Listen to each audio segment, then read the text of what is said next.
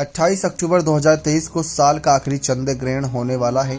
इसी दिन शरद पूर्णिमा भी है, जिस पर चार शुभ योग बन रहे हैं। ऐसे में चंद्र ग्रहण के बाद तिजोरी का एक उपाय आपको मालामाल बना सकता है। अगर आप आर्थिक तंगी से जूझ रहे हैं या फिर आप नहीं चाहते कि कभी आर्थिक तंगी से आपका सामना हो तो आपके ये उपाय करना अवश्य चाहिए। नौ ग्रहों में चंद्र ग्रह हमें मन की शांति, घर में सुख समृद्धि, धन देने वाला ग्रह होता है।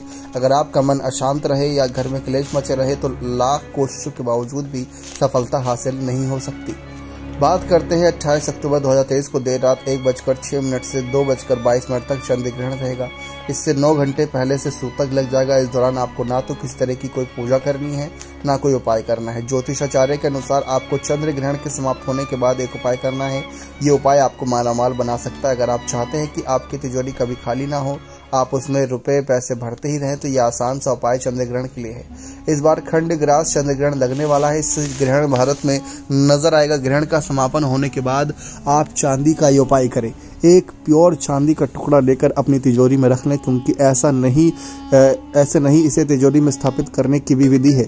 जिस दिन चंद्र ग्रहण पड़ रहा है, आप उस दिन सुबह नहाकर पहले, सबसे पहले जिस भी देवी देवता की पूजा पाठ करते हैं, वो करें, चांदी का टुकड़ा मंदिर में रख दें। अब जैसे ही चंद्र ग्रहण शुरू हो, आप कच्चा दूध, गंगा जल लेकर उसमें चांदी का ये टुकड़ा भिगो दें, ऐसे ही चंद्रमा की छाया में रख दें। अब ग्रहण समाप्त होने के बाद जब आप अगले दिन उठें तो इसे दूध गंगाजल वाले मिश्रण से निकाल कर सीधा अपनी तिजोरी में रख दें। ध्यान रहे, इस दौरान किसी से बात ना करें और ना ही किसी की टोक पड़ने दें। बस ये आसान सा उपाय माँ लक्ष्मी कृपा पाने के लिए काफ़ी है। इस बार का चंद्र ग्रहण शरद पूर्णिमा की रात को पड़ने वाला है तो इसका महत्व कई गुना ज़्यादा है। आप इस चांस को मिस ना करें। समय रहते ही उपाय कर लें। छोटा सा उपाय धन संकट से आपको दूर रखेगा। आप जीवन में तरक्की के मार्ग पर अग्रसर होते चले जाएँगे।